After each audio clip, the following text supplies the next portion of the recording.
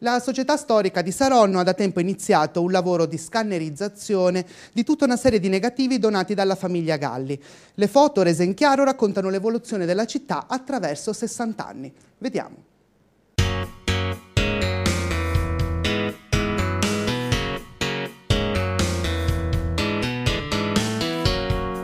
Siamo qua questa sera perché abbiamo una proposta molto originale perché eh, c'è un archivio di fotografie, di 60 anni di fotografie di Saronno, che ci sono state regalate in, in, in negativo, non in diapositiva, in negativo, e che eh, erano come tali inutilizzabili perché appunto il negativo è negativo, sono non in chiaro. E quindi noi abbiamo iniziato quest'opera di scansione delle fotografie in modo tale da renderle in chiaro visibili da tutti,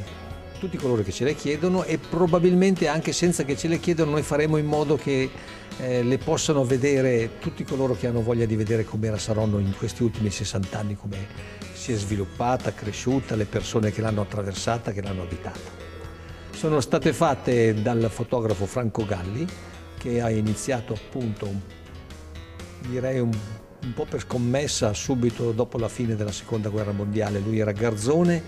nel eh, negozio di fotografie del papà di Oliviero Toscani che era sfollato qui a Saronno e quindi lui ha fatto pratica dal papà di Oliviero Toscani, il famoso fotografo e, mm,